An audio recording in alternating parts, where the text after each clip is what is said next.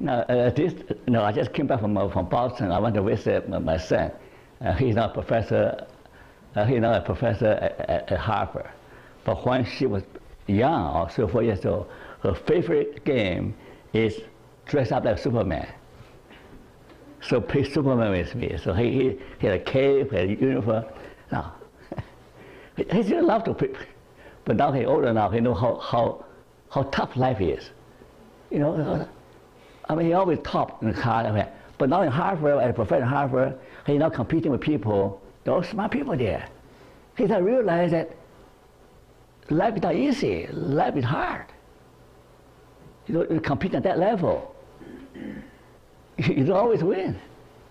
He, he know, you realize that he's no longer Superman anymore, right?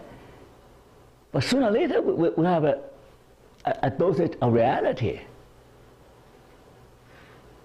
that it doesn't matter how you see yourself, okay? Doesn't matter how you see it.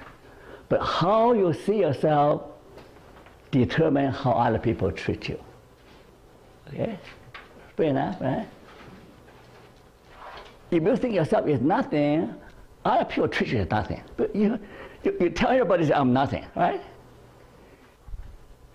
If you think yourself is, is everything, okay?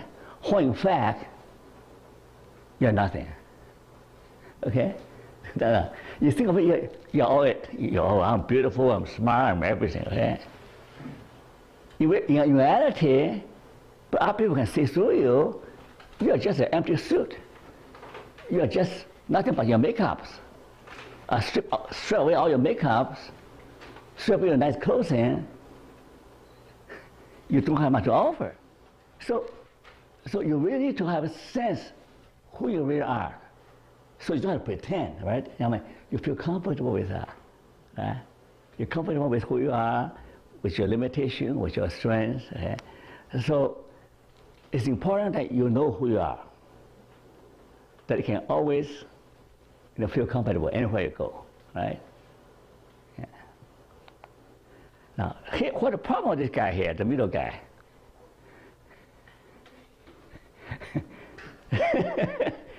this, this poor, this guy, he's a pastor from, uh, from Singapore somewhere.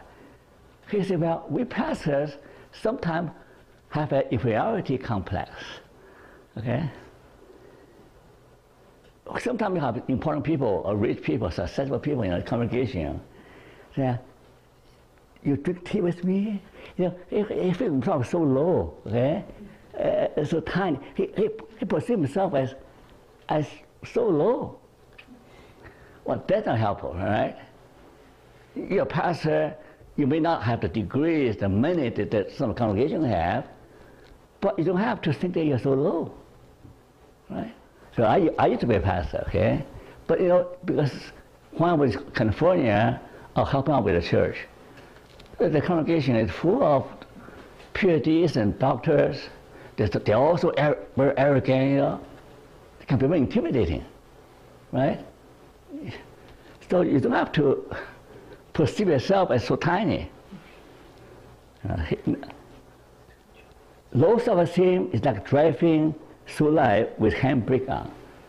So you have, you have a self-esteem problem, you are going through life with a handicap. Why I'm saying that? You're handicapping yourself. You oh, I'm not good enough the opportunity presented themselves, so maybe I'm not good enough. I, I don't have the confidence. The opportunity pass. But how many times you can you can miss the opportunities simply because you do not have the confidence you need. How do you know you cannot do it? You know, say, I don't have the confidence. I, I don't have. Say, I'm going to try it. I'm going to try it, okay? And that's how you grow. You stretch yourself. You, you reach higher than your grip. And then you become, then you grow. If you handicap yourself, say, oh, I can't do it.